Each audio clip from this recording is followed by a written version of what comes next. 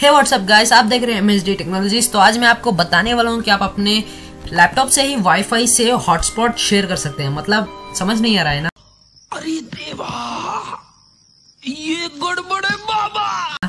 मतलब आप अपने लैपटॉप में वाईफाई अनेबल है। मतलब वाईफाई ऑन है। और आप वाईफाई ऑन रख के ही आप हॉटस्पॉट यूज़ कर सकते हैं। मतलब आप किसी और को वही वाला वाईफाई आप मोबाइल से शेयर कर सकते हैं। मतलब लैपटॉप से शेयर कर सकते हैं। अच्छा हमको सिखा दिया है। तो दोस्तों इस कमाल के ट्रिक को जानने के लिए आप मेरी वीडियो को एंड तक ज़रूर देखना। अगर आप थोड़ा सा भी स्किप करोगे ना तो सच में गड़बड़ हो जाएगी। तो चलिए शुरू करते हैं।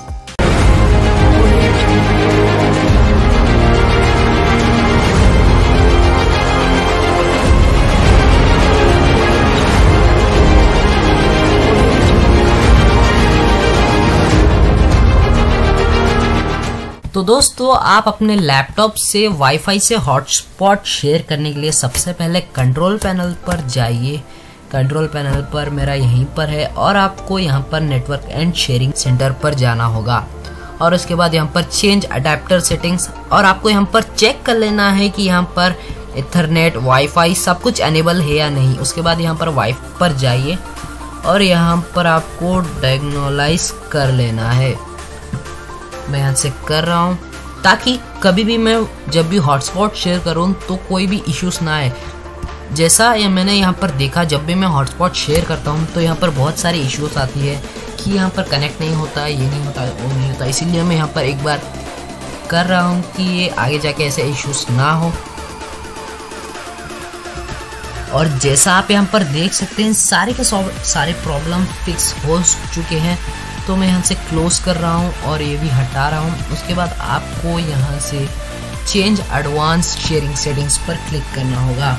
क्लिक करने के बाद और आपको यहाँ पर turn on sharing as so anyone with network access can read files and public आपको इसे एनेबल कर देना है सेव चेंजेस और आप यहाँ से बैक कर सकते हैं दोस्तों। करने के बाद आप जाइए अपने सेटिंग्स पर सेटिंग्स पर जाने के लिए विंडोज़ प्लस आई पर क्लिक कीजिए, जैसा मैंने क्लिक किया।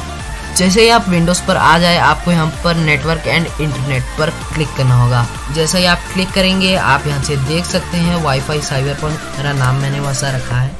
तो मैंने यहाँ पर, मैं पहले दिखा देता हूँ, आपको ये कनेक्टेड है। तो दोस्तों, आपको इसी के प्रॉपर्टीज़ में जाना है। प्रॉपर्टीज़ में जाने के बाद आपको सेट एज मीटर्ड कनेक्शन पर कर देना दोस्तों, वरना ये आपका हॉटस्पॉट नहीं लेगा। तो इसे बैक जा सकते हैं आप। बैक जाने के बाद आप यहाँ पर देख सकते हैं मोबाइल हॉटस्पॉट आपको इसे क्लिक करना है। क्लिक करने के बाद जैसा आप यहाँ पर देख सकते हैं, दिखा रहा है share your internet with other devices जैसा आप मैं यहाँ पर क्लिक करता हूँ और ये यहाँ पर ऑन हो जाता है। जब भी आप अपने दूसरे लैपटॉप में या अपने मोबाइल में जाके चेक करते हैं तो आपको ये कंप्यूटर का वाईफाई दिखाएगा। ना कि जो आपने वाईफाई कनेक्ट किया है वो आपको डेस्कटॉप यहाँ पर रीनेम कर सकते हैं। आपका हॉटस्पॉट का नाम जो भी रखना चाहते हैं रख सकते हैं। नहीं, मैं नहीं मानता। अब मैं कुछ भी रख रहा हूँ और यहाँ पर आप पासवर्ड भी रख सकते हैं जो भी आप रखना चाहते हैं और सेव करके और सेव करके आप यूज़ कर सकते हैं दोस्तों। बिना किसी इश्यूज़ के आप एंजॉय कर सकते हैं वाईफाई से हॉटस्पॉट शेयर कर सकते हैं। दोस्तों, यही थी एक ट्रिक विंडोज़ में यही कमाल की ट्रिक दी हुई है। आप इसे जाके यूटिलाइज कर सकते हैं। आप इथरनेट से अपने मोबाइल को या और भी पासवर्ड पता नहीं है तो आप उसे जाके यूज़ कर सकते हैं। दोस्तों, बस वीडियो में इतना ही। वीडियो पसंद आए तो वीडियो को लाइक करना शेयर करना सब्सक्राइब करना। यार सब्सक्राइब क्यों नहीं कर रहे सब्सक्राइब करके जाना। मिलता है अगले वीडियो में। तब तक के लिए जय हिंद।